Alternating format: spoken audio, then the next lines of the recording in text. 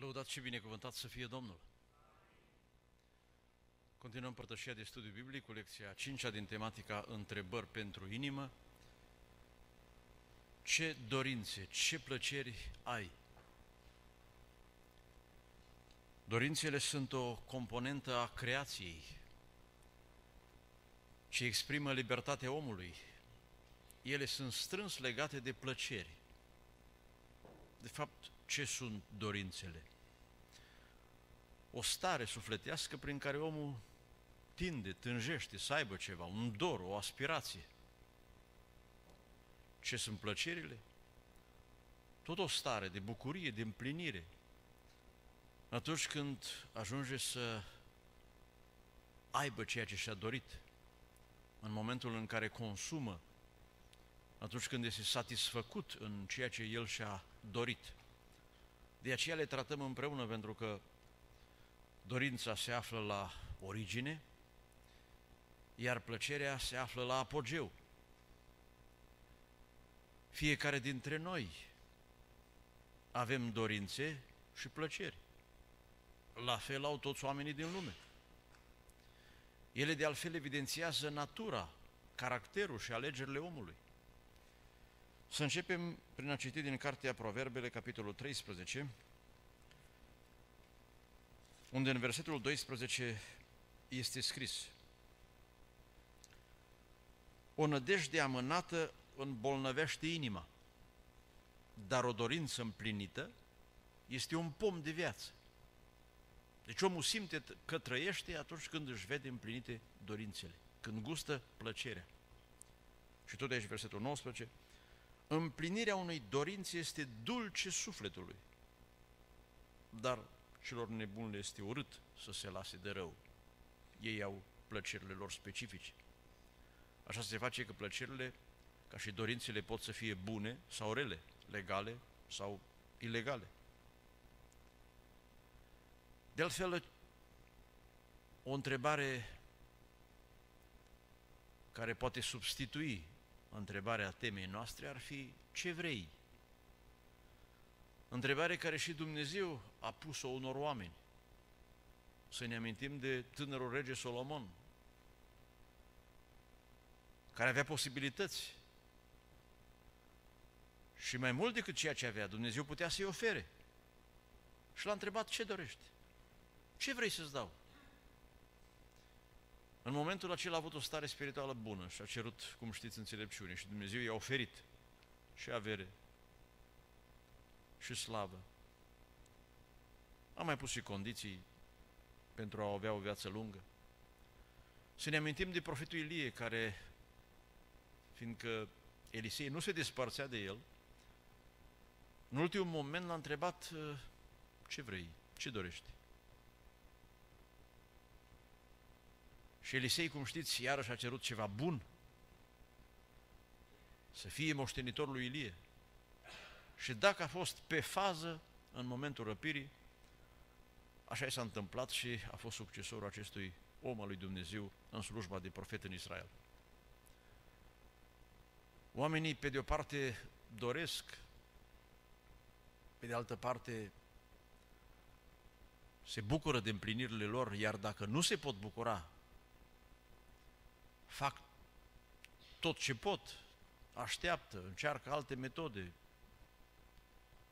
ortodoxe, neortodoxe, adică în drept sau ilicite, ca să ajungă la împlinirea dorințelor. Și pe acest fond oamenii justifică atitudinile. Se spune că și șcaliful Omar a ajuns în fața bibliotecii din Alexandria, care vrea să-i dea foc a emis două ipoteze care în fond nu puteau să aibă decât aceeași concluzie. Și a zis, dacă în biblioteca aceasta cărțile sunt în acord cu ceea ce scrie Coranul, înseamnă că sunt deprisos, că avem în Coran. Dacă sunt împotrivă, înseamnă că nu sunt bune. E bun ceea ce scrie în Coran. Deci, o distrugem. Sau cum spunea profetul Ieremia, ce bine știi să îți întocmești căile când e vorba să cauți, să afli, să atingi ceea ce iubești, ceea ce dorești. Să privim mai întâi într-un prim capitol al lecției noastre, la dorințe și plăceri umane. Să ne identificăm pe noi și dimensiunile dorințelor și plăcerilor noastre. Și aici două subcapitole, dorințe și plăceri specifice vieții terestre. Și un al doilea subcapitol, dorințe și plăceri spirituale. Noi nu suntem numai materie, avem și un suflet. Dumnezeu este Cel ce a creat dorințele și plăcerile naturale, odată cu posibilitatea împlinirii lor. Dumnezeu a creat grădina Edenului, scrie în Genesa 2, și a spus omului să mănânce după plăcere. Însă și cuvântul Eden se traduce plăcere. Deci plăcerea bună originează în Dumnezeu, ceea ce este natural, El a creat. Dar tot Dumnezeu și tot atunci, de la început, a permis omului să atingă, să aibă acces și la dorințe care nu sunt bune. Și a oferit chiar posibilitatea ca ele să fie împlinite. Spune Scriptura, citim mai târziu, date din lege, Cartea de Deuteronom, capitolul 12, versetul 8. Uh, Moise vorba poporului în pustie să nu faceți cum facem noi aici, unde fiecare face ce îi place. Din această referință înțelegem că omul poate să aibă plăceri bune sau rele, dar nu numai, că plăcerile sunt foarte diferite de la un om la altul. Și tot de aici citim versetul 15. Știți că la început Dumnezeu a dat omului ca și regim alimentar numai verdețurile. Apoi, după potopie, a permis să mănânce și carne. Și scrie aici, totuși când vei dori, vei putea să junghi vite, să mănânci carne în toate cetățile tale, cât îți va fi dat prin binecuvântarea Domnului Dumnezeului tău. Atunci când vei avea o asemenea dorință, o poftă de mâncare. Și tot aici în Deuteronom citim în capitolul 14, versetul 26 despre zilele de sărbătoare, când se strângeau în locurile, în locul rânduit de Domnul, acolo să cumperi cu argintul acela tot ce vei dori. Și enumeră. Tot ce îți va plăcea. Iată cum Dumnezeu permite omului să aibă ceea ce îi place. Dacă este natural și organismul, trupul are nevoie de acele bunuri. Nu doar omul, spune Scriptura în Psalmul 145, și toate viețuitoarele au libertate de la Dumnezeu și condiții pentru ca să servească ceea ce e specific cu natura lor. Psalmul 145, versetele 15 și 16. Ochii tuturor îndăjduiesc în tine și tu le dai hrană la vreme. Îți deschizi mâna și saturi după dorință. Tot ce are viață. Pentru că Dumnezeu în dragostea, în bunătatea Lui a vrut ca ființele create să aibă bucurie, împlinire, pentru că asta este plăcerea. Din ceea ce consumă, din modul în care trăiesc. Și mai adaug din Eclesiastul, unde scrie în capitolul 11, versetul 7, uh, dulce este lumina și o plăcere pentru ochi să vadă soarele. O pasiune care ține de vizualizarea a tot ceea ce Dumnezeu a creat. Sunt lucruri în natură pe care le admirăm și ne plac, chiar dacă nu sunt pentru consum. Dumnezeu a creat florile, de exemplu.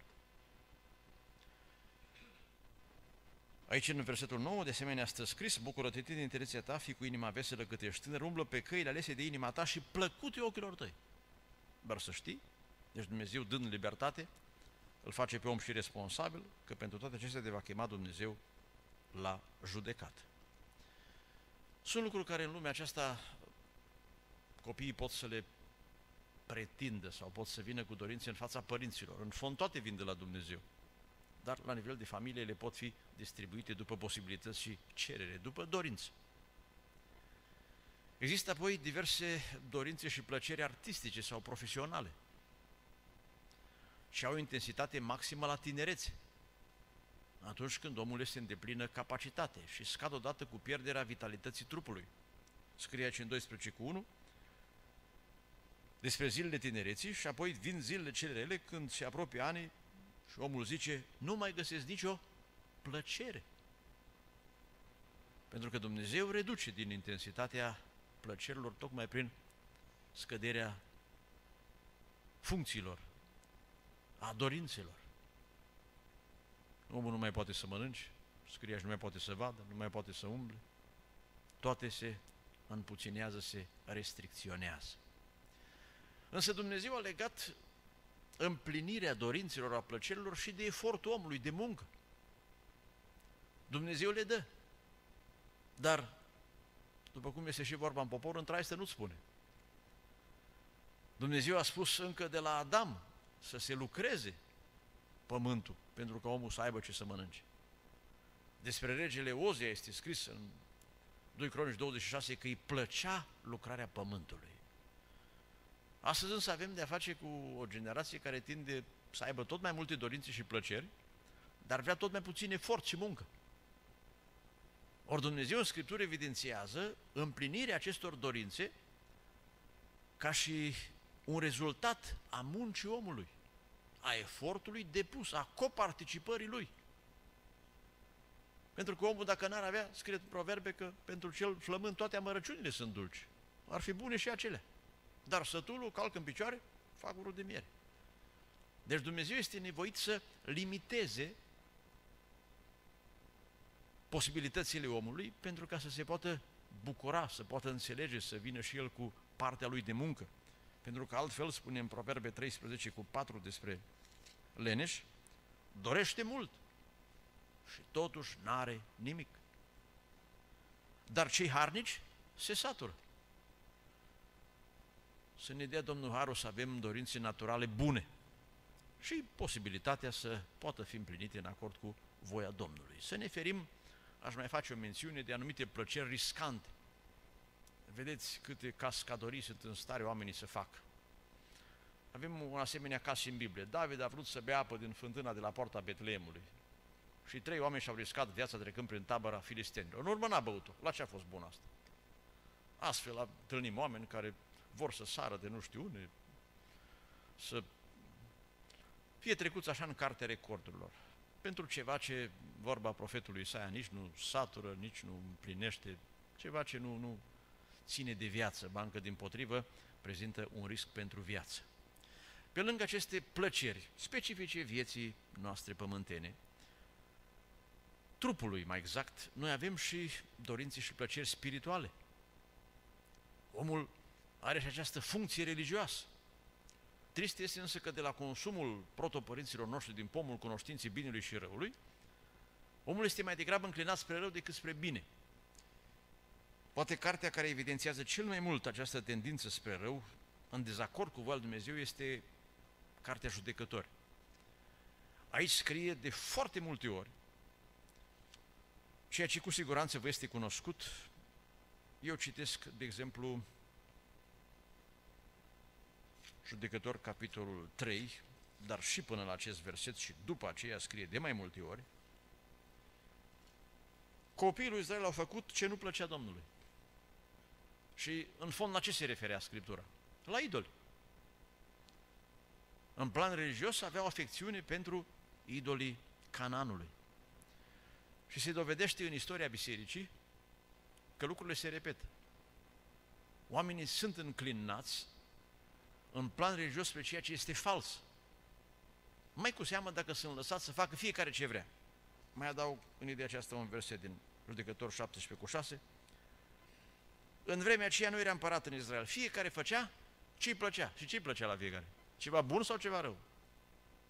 De regulă omul este înclinat spre rău, spre păcat. Dorințele spirituale, care nu sunt în acord cu cele ale lui Dumnezeu, cu siguranță că sunt uh, negative și ele evidențiază perversiunea omului, afectarea spiritului. Iată ce spuneau și profeții. Citim din Isaia, capitolul 65. Și să ne gândim dacă mai avem astfel de dorințe. Sau cum sunt ale noastre.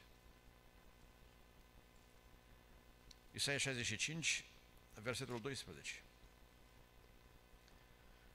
Vă sortesc săbii și toți veți pleca genunchiul ca să fiți junghiați, căci eu am chemat și n-ați răspuns, am vorbit și n-ați ascultat și ați făcut ce este rău înaintea mea. De ce au făcut așa? Ați ales ce nu-mi place. Și pe pagina de dreapta scrie în versetul 4, capitolul următor, de aceea și eu voi alege ce este spre nefericirea lor, voi aduce peste ei lucruri de care se tem, căci am chemat, n-au răspuns, am vorbit, n-au ascultat, au făcut ce este rău înaintea mea, au ales ce nu-mi place. Așa a fost pe perioada judecătorilor, așa a fost în perioada împăraților și de nefericire, așa este în general în toată istoria. Și împlinirile spirituale sunt superioare celor fizice. De aceea oamenii sunt în stare să cheltuie, să pună trupul la un efort ca să aibă o împlinire sufletească. Tocmai de aceea s-ar cuveni ca și noi să depunem efort, cum am făcut și în seara asta venind la adunare, sau altă dată când ne rugăm, când postim, sau facem alte lucruri pentru suflet. Scrie în Proverbe 22 cu 1 ca și o comparație, un nume bun este mai de dorit decât o bogăție mare. Deci o dorință spirituală, a lupta pentru un scop nobil, e mai înaltă decât a aduna comori. Și a fi iubit, chiar în plan pământesc, în relațiile de familie sau între prieteni prețuiește mai mult decât argintul și aurul. Deci dorințele și plăcerile spirituale sunt superioare și oricine le dorește înaintea celorlalte. De aceea scrie tot în proverbe că mai bine o masă cu ceva uscat și puțin decât o casă cu cărnuri, dar cu ceartă. Pentru că sufletul este net superior trupului. Așadar, într-o concluzie acestui prim capitol, noi avem dorințe legate de partea noastră fizică și de partea spirituală. Fapt valabil pentru toți oamenii. Așa ne-a creat Dumnezeu. Numai că aceste dorințe și plăceri pot fi rele sau pot fi bune. Și de asta ne vom ocupa în următoarele două capitole. Mai întâi, sau de acum, dorințe și plăceri rele în tot ceea ce voi spune aici, trebuie să nu ne regăsim sub nicio formă.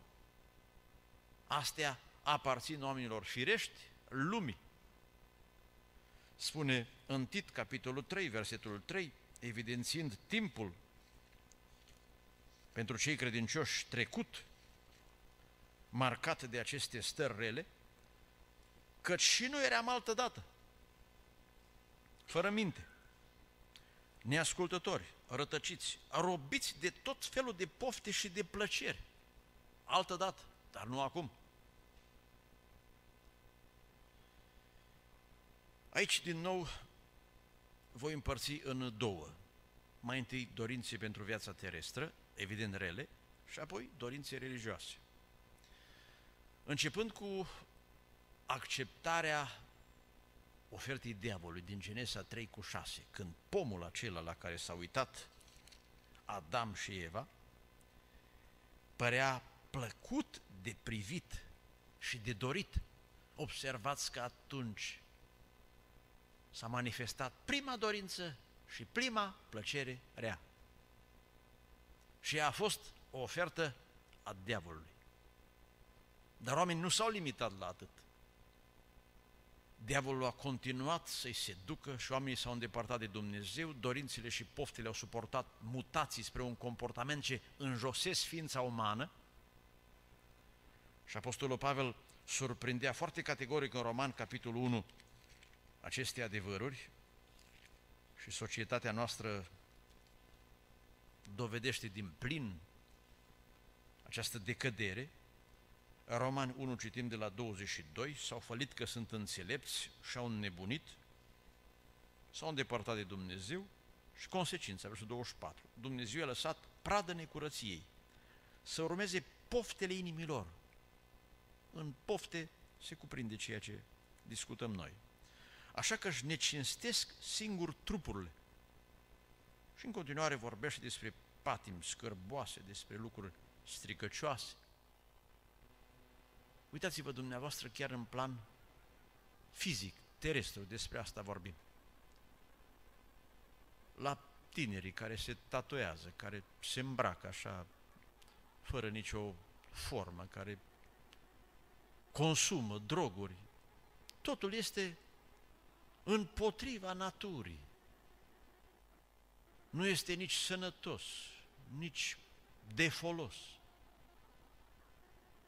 Pentru că oamenii sunt îndepărtați tot mai mult înspre rău. Și nu știm când și cu ce intensitate în diverse locuri de pe pământ se va ajunge ca și în Sodoma. Pentru că deja se observă primele nuanțe ale abuzului. Ceva asemănător cum a fost acolo caz descris în Genesa 19. Citeam recent că tot mai, tot mai mulți din sfera asta demonică spun că violul este un mit. Adică nu-i drept că o femeie se simte rău dacă este violată. Toate astea vor face ca oamenii să schimbe mentalitatea și să nebunească din ce în ce mai mult, recurgând la abuzuri care degradează ființa umană. Plăcerile rele nu au limită. În Efeseni 4 scrie că și-au pierdut orice simțire și să vârșesc cu lăcomie toate aceste stricăciuni. Un alt domeniu pe lângă cel imoral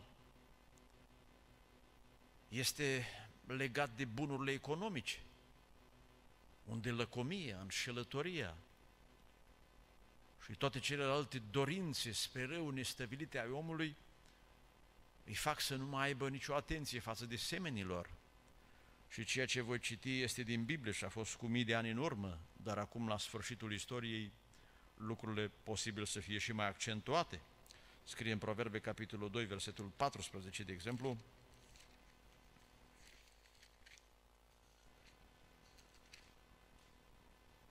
de oameni care se bucură să facă răul, își pun plăcerea în răutate. Sau tot proverbe?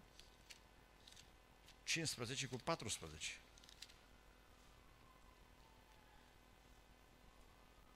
Gura nesocotiților găsește plăcere în nebunie.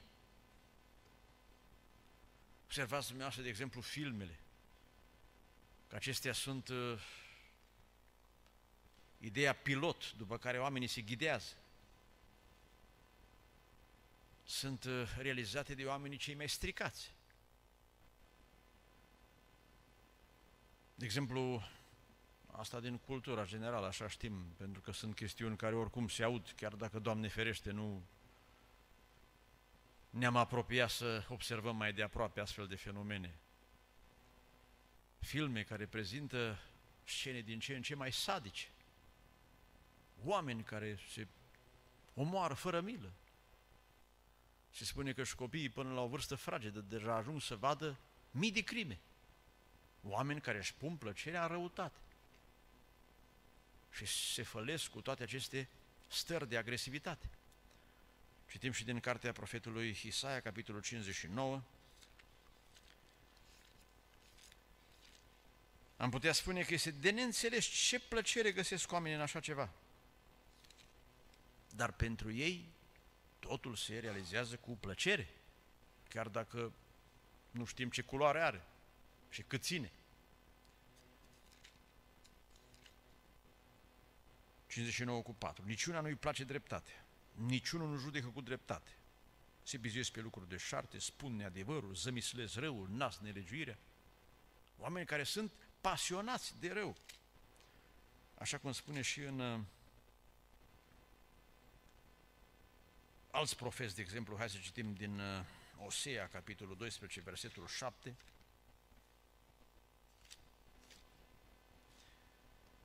Efraim este un negustor care are în mână o cumpără mincinoasă. Îi place să înșele. Astăzi am cumpărat ceva de la Kaufland și am sesizat că erau două seturi de farfurii de plastic și cel de la caserie nu le-a observat și am spus, vezi că mai este una. Mi-a întors repede binele înapoi, că era să uit apoi eu ceva acolo la el. Și a spus, vedeți că v-ați uitat ceva. Și m-am gândit ce frumos este când oamenii sunt atenți și nu se înșală. Dar există o sete ca oamenii să înșele, să fenteze. Nu doar așa că mint puțin ca să rotunjească prețul. Cu cât e frauda mai mare, cu atât se bucură mai mult. Un frate spunea că a primit o țeapă, cum se spune, în relațiile economice de 2 miliarde. Niște cecuri fără acoperire. În lumea afacerilor, banul, acel mamon a devenit un demon puternic care îi chinuie pe oameni. Mai adaug și din alt profet contemporan cu Isaia și Osea, Mica, capitolul 2, versetul 2. Dacă poftesc ogoare, pun mâna pe ele, dacă doresc casele, răpesc, asupres pe om și casa lui, pe om și moștenirea lui. Citeam despre un caz din Timișoara când un notar împreună cu alții, nu mai știu exact ceva, agenție imobiliară, i-au vândut apartamentul unui om și a rămas până s-a judecat și a făcut o colibă undeva la marginea pădurii. După vreo doi ani, totuși, instanța i-a dat câștig de cauză. Pentru că oamenii au multe dorinți rele.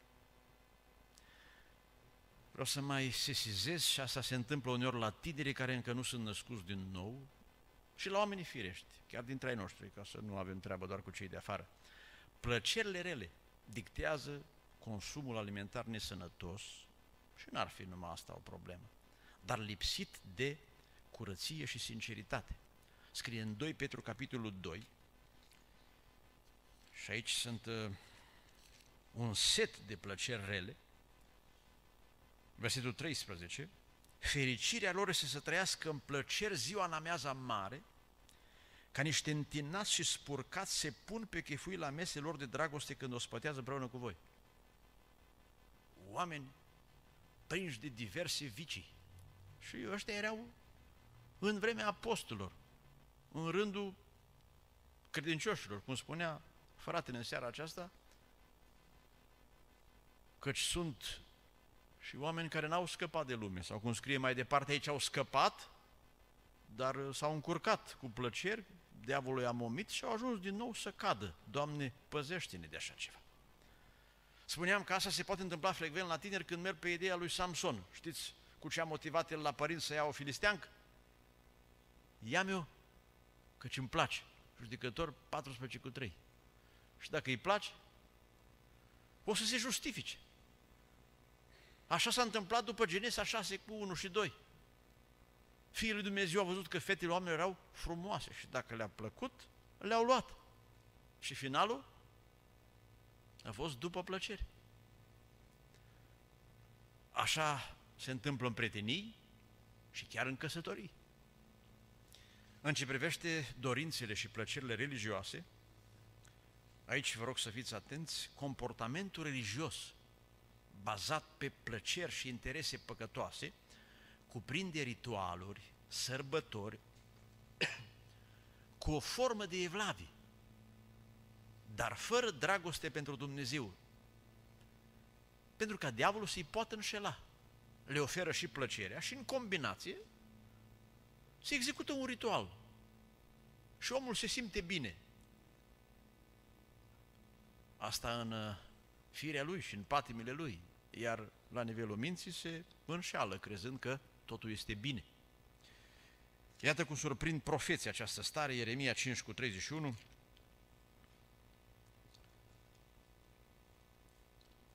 În vremea noastră este un creștinism avid de plăceri. Și adesea, o deosebit tinerii, dar vinovăția cred cade pe slujitori care satisfac astfel de plăceri ocazionate de serbări, de tabere, de mese, cu diverse ocazii. Ieremia 5 cu 31. Prorocii prorocesc neadevăruri, preoții stăpânesc cu ajutorul lor și poporului meu îi plac aceste lucruri. Dar ce veți face la urmă? 6 cu 10. Cui să-i vorbesc? Pe cine să iau martor ca să mă asculte? Eroicele oreste nete, iată împrejur. Nu sunt în stare să ia aminte. Iată, cuvântul Domnului este o cară pentru ei și nu le place de el. Undeva spunea cineva, nu le țineți tot studii la tineri, mai puneți-le câte un film, să le placă. Bieți oameni. au ajuns să recunoască, dar nu-și dau seama că plăcerea a ajuns să-i domine și asta într-un spectru religios.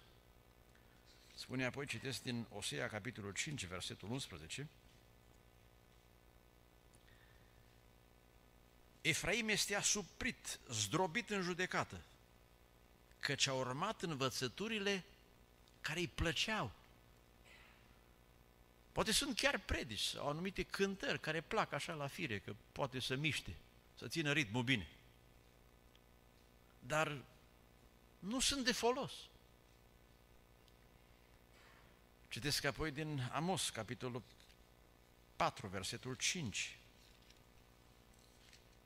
Să știți că profeții adevărați evidențiază foarte bine aceste lucruri. Face să fumege jerfe de mulțumire făcute cu aluat, ceea ce nu era potrivit legii. Trâmbițați-vă, vestiți-vă darurile de mâncare, de bunăvoie, căci așa vă place, copiii lui Israel, zice Domnul Dumnezeu. Erau ritualuri. Numai că ele erau vinovate. Amos a profețit în regatul de nord, în vremea lui Robam al doilea. Dar încă din timpul lui Robam I, conform 1 Paras 12, se înființaseră noi sărbători, ocazionate de slujirea cultului vițeilor de la Dan și de la Betel. Acolo se adunau, se închinau, se distrau, cum s-a întâmplat de altfel în pustie cu ocazia vițelului Aron, pentru că acolo a fost originea, de fapt s-au luat după modelul egiptean.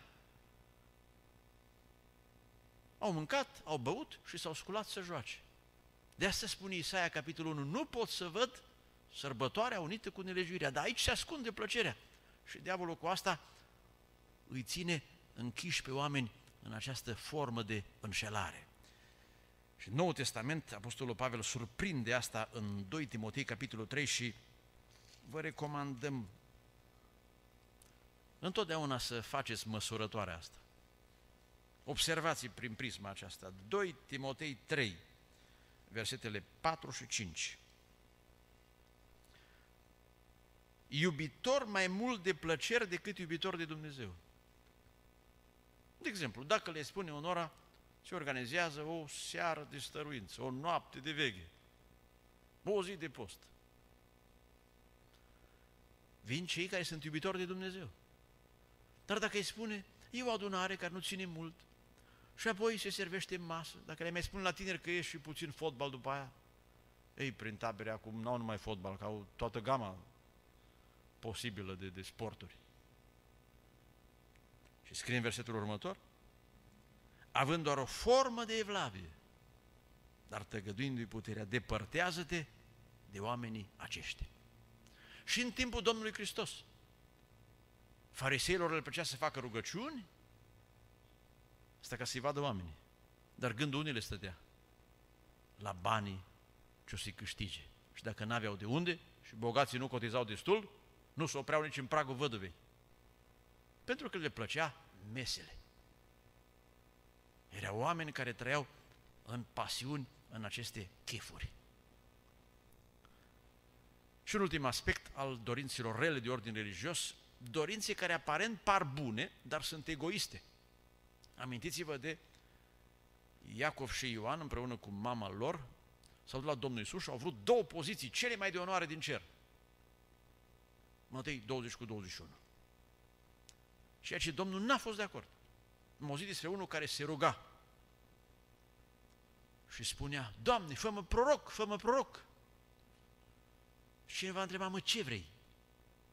Vreau să fiu un proroc a României, un proroc mare.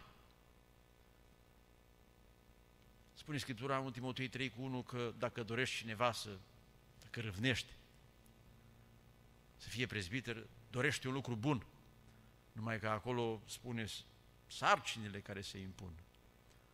Și dacă asta o dorește în sensul de slujire, dar dacă dorește în sensul de a fi și se manifestă acțiuni ca de ordin politic, asta e demonic 100% poate să poarte orice titlu. Domnul să ne păzească de toate aceste dorințe rele.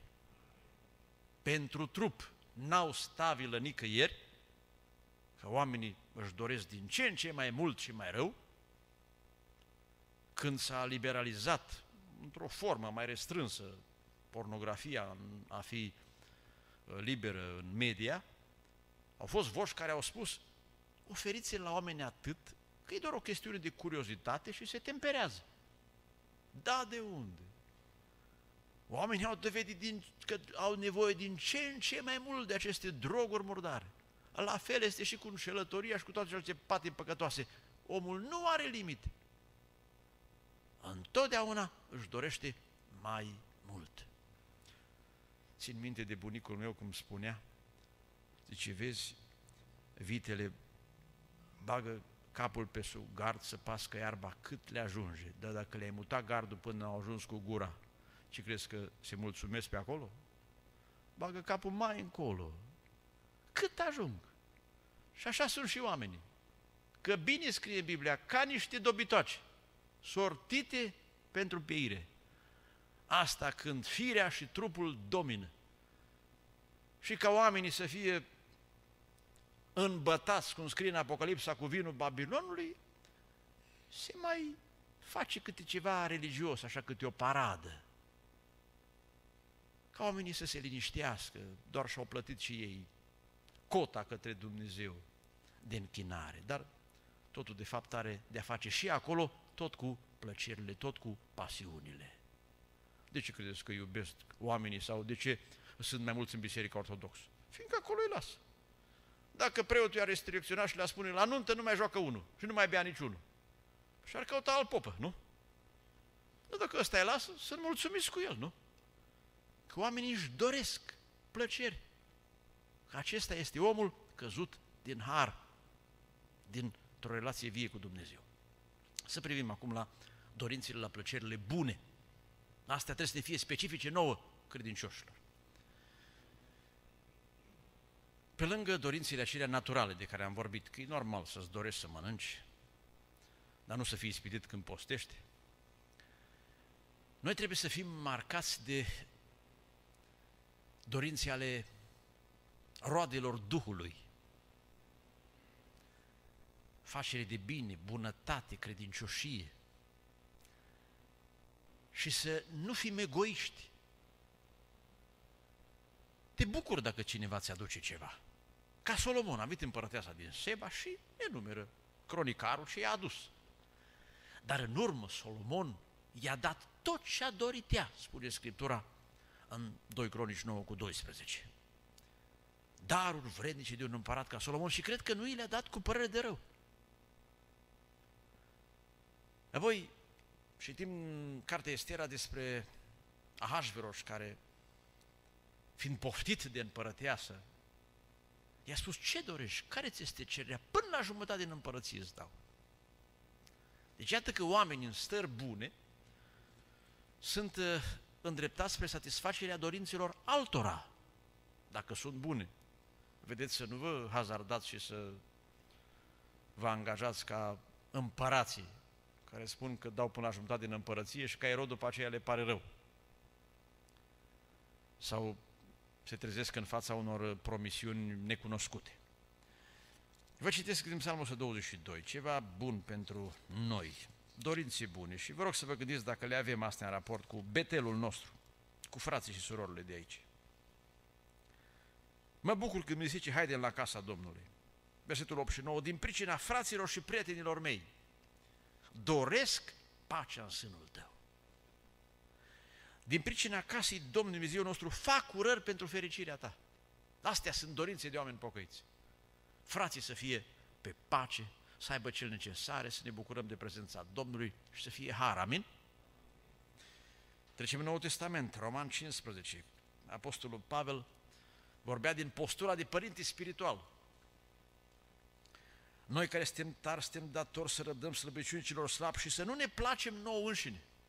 Omul credincios poate să-și înfrâneze dorințele lui. Sau cel puțin să fie gata să ofere celuilalt și la urmă să îi revină și lui ceea ce se poate. Fiecare din noi să placă aproape lui în ce este bine, vorbim de dorinți bune, în vederea zidirii altora. E mult mai frumos să te servească altul decât să-ți cauți numai tu interesul. Să vezi pe fraților că se gândesc la tine. Dacă ești bolnav, se roagă pentru tine. Dacă ești sărac, vin în ajutorul tău. De exemplu, dacă cineva are un eveniment în familie, să vină alții să-l ajute. Dacă o mamă a născut și are nevoie să fie ajutată, ce bine se va simți când în jur vor fi alte surori cu dorinți sfinte, să-i ducă o prăjitură, să îi facă, știu eu, o curățenie în casă sau să o ajute într-un fel sau altul. Dacă cineva dorește numai pentru sine și nu pentru alții, aici este o problemă încă de fire pământească, de egoism. Prima lege a firii pământești iubirea de sine. Prima cerință a urmării Domnului lepădarea de sine. Spunea Ioan scriind lui Gaiu în a treia epistolă, versetul 2, prea iubitule. Așa se întâmplă în iubire. Doresc ca toate lucrurile tale să-ți meargă bine. Dorim așa pentru toți frații. Atunci nu se va întâmpla cum spunea cineva, măi, când am auzit că și-o luat mașina așa bună, n-am dormit o noapte. Sau altul spunea, să știi că e mai ușor să plângi cu cei ce plâng decât să te bucuri cu cei ce se bucură. Pentru că și firea se moaie când e vorba de un necaz. Dar să te bucuri de binele altuia, intră pe rol pisma. E necazul când l-a lovit norocul pe altul. Da, așa ceva nu-i specific celor credincioși. Și sănătatea ta să sporească tot așa cum sporește și sufletul tău. Deci dorințe de bine pentru suflet, pentru trup. Și viața de familie este mediul permanent a împlinirii dorințelor bune a aproapelui. Știți că dorințele femeii se țin după bărbat. Și bărbații știu asta. E ceva specific femeii să se exprimă în ceea ce dorește. Și orice bărbat bun va împlini tot ce poate pentru nevasta lui.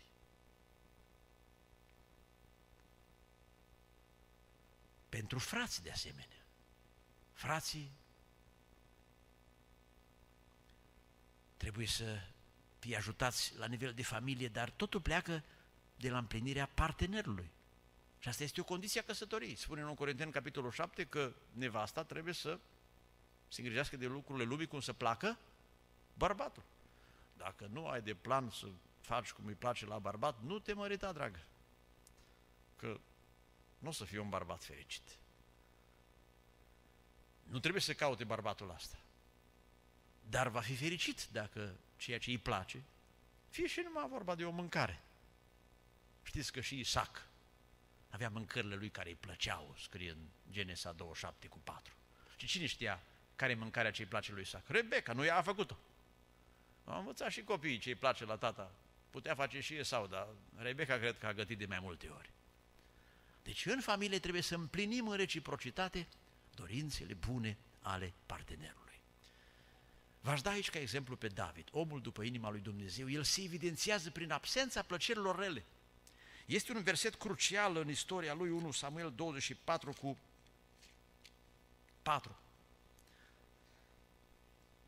Nu întâlnim dorințe rele la David, cu excepția păcatului său, dar pentru asta a plătit scump. Oamenii lui David au zis, iată ziua în care Domnul îți zice. Eu nici nu înțeleg cum s-a întâmplat asta. Dau pe vrăjmașul tău în mâinile tale. Și acum atenție. fă ce-ți va plăcea. Dacă ai avea asemenea prorocie, sau știu eu cum ți-ar zice Dumnezeu, fă ce vrei la omul cu tare. Și el ți-a făcut rău cândva. Ei, tocmai asta a putut Saul să spună despre David, eu ți-am făcut rău, iar tu mi-ai făcut bine. Deci David nu avea dorințe rele. Putea atunci să uzeze de dreptul celui mai tare. N-a făcut-o. Aici se vede o dorință bună. Când ești ispitit să faci ceva rău. A, noi nu lovim pe nimeni, dar măcar așa îl pleznim cu limba. Și asta tot rău este. Limba poate să fie de grea ca un buzdugan. Nu trebuie să fiți meu. Poți să fii om și tot ai buzdugan. Și dacă lovești, asta numai bine nu-i. Doamne, ajută-ne, cum zice Iacov, să o îmblânzim. ca să fim oameni pocăiți cu adevărat.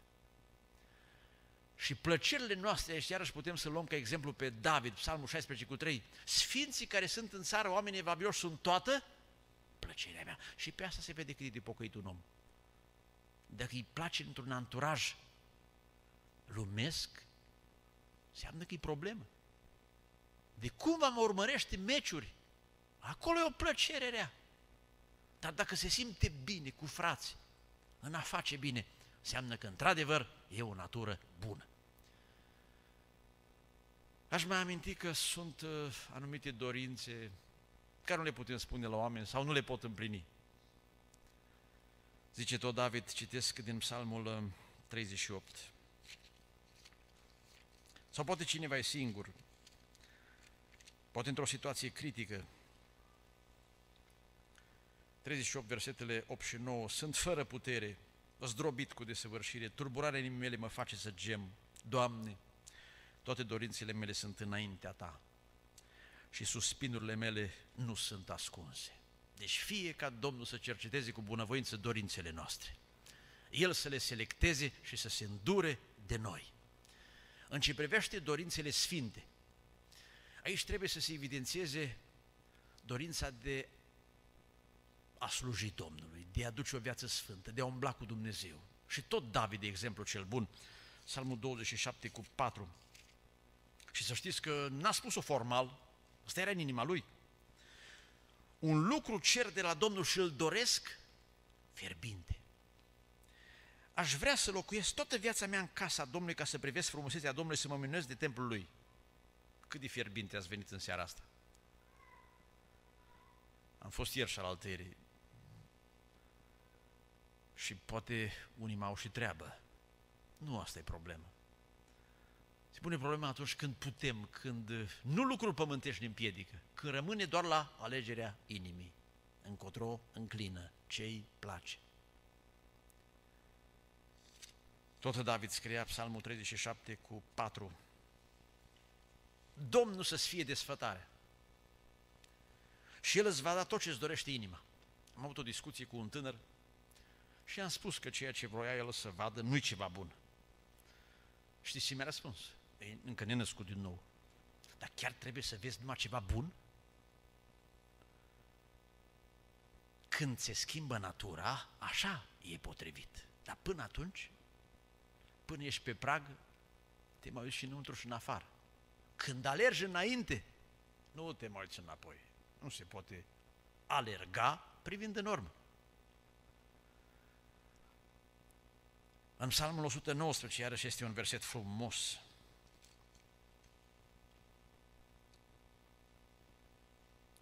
Psalmul acesta e tare interesant, versetul 35 povățuiește-mi pe cărarea poruncilor tale, căci îmi place de ea. Atunci te va călăuzi Dumnezeu când vede că îți place, când nu faci de silă, sau cum spune tot în psalm 1 cu 2, plăcerea în legea Domnului să fie zi și noapte.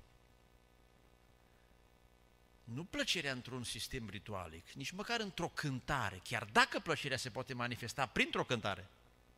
Dar se poate întâmpla să-ți placă să cânți, dar să nu-ți placă de Domnul. Sunt unii care sunt așa născuți pentru cântare, au folclorul în inimă. Dar alta este să ai o pasiune pentru Domnul care se poate manifesta printr-un geamăt, printr-o cântare, printr-un strigăt, prin diverse forme de exprimare. Și astea întrec orice ritual.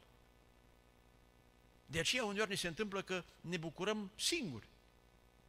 Alții se bucură doar poate când sunt mulți și este o paradă ceva spectaculos, este o senzație sufletească, nu neapărat ceva spiritual. Doamne, pune în noi aceste dorințe sfinte. Pune-le și în inima copiilor noștri, să înțeleagă că ascultat de părinți, zice în Coloseni 3 cu 20, că asta place Domnului. Să dorească cei tineri laptele duhovnice și curat. Dorințe potrivit cu vârsta, pentru că dorințele și plăcerile care sunt în acord cu voia lui Dumnezeu, cu natura Lui, vor fi onorate aici și pentru toată eternitatea. Cei ce au plăceri firești, le scad poftele în intensitate pe măsură ce bătrânesc. Nouă, ne cresc în intensitate și nu se epuizează și nu încetează la moarte. Spunem Psalmul 73, Asaf, aș putea spune că e un exemplu suficient pentru toată lecția noastră. Se uita și el la alții care se bucurau în lumea asta de ce aveau, de ce mâncau, erau grăsuți bine, nu erau bolnavi. Și în final zice, eu să fiu ca ei, dar n-aș fi credincios. Și apoi își dă seama că el nu e un animal, zice aici în versetul 22, și trec din 23 și citesc, însă eu sunt totdeauna cu tine. Tu m-ai apucat de mâna dreaptă, mă vei călăuzi cu sfatul tău, apoi mă vei primi în slavă. Pe cine altul am eu un cer afară de tine? Și pe pământ nu găsesc plăcerea în nimeni decât în tine. Mi se pare că despre un credincios de la sfârșitul secolului IV au spus guvernanții din vremea aceea, auzi, te exilăm, înseamnă că mă lăsați numai cu Domnul. Păi te omorâm, înseamnă că mă lăsați să mă duc la El. Pentru că un adevărat credincios va avea satisfacția părtășiei cu Dumnezeu care nu poate fi întreruptă de nimeni și de nimic. Spune în continuare aici, pe pământ nu găsesc plăcerea nimeni decât în tine. Bine spunea Domnul, și ne iubește nevasta sau copiii mai mult decât pe Domnul, nu-i vrednic de el. Deci plăcerea pentru Domnul trebuie să fie superioară oricăror dorințe. Dumnezeu te va împlini mai mult ca oricine și ca orice. S-ar putea cei din jurul tău, ca în cazul lui Iov, să aibă o eclipsă și să te întristeze. Și se pare că ești singur. Dacă l-ai pe Domnul, nu ești singur niciodată, ești fericit, slăvit să fie Domnul. De aceea scrie 28, cât pentru mine fericirea e să mă apropiu de Dumnezeu, pe Domnul Dumnezeu îl fac locul meu de adăpost, să povestesc toate lucrurile tale. Asta e calea fericirii, unirea cu Domnul, cu Hristos. Asta nu doar așa în sens mistic, ci într-un sens real, practic. O viață de trăire cu El, ce cuprinde toate entitățile ființei umane. Zice în Evrei 11, cei ce vorbesc în felul acesta arată de slușit că sunt în căutarea unei patrii. Aceste dorințe sfinte vor fi continuate în eternitate și tot în Evrei scrie acolo despre Moise, e plină Biblia de astfel de exemple, norul de martori care suntem înconjurați, el avea în față onoarea și favorul Egiptului. Și alții îl părăsesc pe Domnul pentru un post de doi bani. Evrei 11 de la versetul 25, a vrut mai bine să sufere împreună cu poporul lui Dumnezeu decât să se bucure de plăcerile de o clipă ale păcatului. Pentru că avea ochii pironiți spre răsplătire, spre împlinirea în împărăția lui Dumnezeu. Și în ultimul rând aș menționa consecințele. Dorințele și plăcerile rele sunt retributive și cei în cauză sunt responsabili și atinși de Domnul cu pedepse specifice. Zicem Psalmul 109 cu versetul 17, îi plăcea blestemul să aibă parte de el. Sunt alte cuvinte de referință în profeți. Noaptea plăcerilor, zicea profetul Isaia, 21 cu 4, devine noaptea spaimelor. Plăcerile care i-au atras pe oameni, aici este punctul esențial. Cer justificări religioase, cum v-am spus, pentru liniștirea conștiinței. Dar tocmai aceste plăceri lumești sunt motivul pierderii cugetului curat și a credinței adevărate. Și versetele de referință sunt în 2 Tesaloniceni, capitolul 2. Citesc de la versetul 10. Toate amăzirile nelejuirii, pentru că cei ce sunt pe calea pierzării, pentru că n-au primit dragostea adevărului ca să fie mântuiți. De ce n-au primit dragostea adevărului? De ce n-au avut plăcere pentru poruncile sfinte? Cum scrie în Psalmul 19 de nenumărate ori, ar spune. Din această pricină Dumnezeu le trimite o lucrare de rătăcire să crea o minciună. Pentru ca toți ce n-au crezut adevărul, și vor spune unii, eu n-am putut crede, eu nu cred așa. Știi de ce crezi altfel? Scrie aici. Au găsit plăcere în nelejuire. De aceea nu pot crede unii. Că le place păcatul. Le place distracția. Și nici n-au cum să creadă. Căci conștiința curată și credința adevărată e legată de plăceri, de voința omului, de libertatea de a alege binele sau răul. În schimb, dorințele bune aduc o fericire direct proporțională cu efortul depus. Și asta pentru eternitate. Faci bine, ești liniștit, ai pace, vei fi răsplătit pe măsură. Dumnezeu, la cine seamănă puțin, îi dă și lui să seceră. La cine seamănă mult, zice apostolul, mult va secera. Deci, după măsura dorinților, așa vom fi și răsplătiți. Închei spunând că dorințele și plăcerile, bune sau rele, așa cum am studiat, dezvăluie natura fiecărui om. Ar fi suficient să-l întrebi pe un om ce-ți place? Când ești liber, ce faci? În urmă poți să-i dai definiția cei sfânt sau demon. E născut din nou sau nu? Dar asta determină și viitorul. Scrie în Proverbe, capitolul 10, versetele 23 și 24. Pentru cel nebun este o plăcere să facă rău. Se distrează. Dar pentru cel înțelept este o plăcere să lucreze cu pricepere. Celui rău, aici e viitorul, de ce se teme, aceea se întâmplă. Adică cel rău face rău, dar urmă totuși el că tot la rău se poate aștepta. Dar celor neprihăniți li se împlinește dorința. Și asupra acestui deziderat veghează Dumnezeu. În capitolul următor, 11 cu 23 este scris, dorința celor neprihăniți este numai bine, căci bine au făcut, binele l-a plăcut. Dar așteptarea celor răi este numai mânie. Doamne, păzește-ne! Când dorințele și plăcerile se suprapun cu cele ale lui Dumnezeu, avem dovada dobândirii naturii lui și a desăvârșirii. Zice Pavel în Filipeni 2 cu 13 că Dumnezeu vă dă după plăcerea lui și voința și înfăptuirea. Dar Dumnezeu nu abuzează de voința ta. Dar când ai plăcerea la fel cu a lui, asta voie și tu și asta te va ajuta Dumnezeu să poți împlini. Doamne, ajută-ne! Și în nădejdea că vom avea dorințe bune, cale Domnului, închei cu urarea din Psalmul 20, versetul 4 și 5. Dar țineți cont, dacă aveți dorințe rele, ce spun eu, îi blăstăm pentru voi. Dacă aveți dorințe bune, fericire. Să-ți dea ce-ți dorește inima.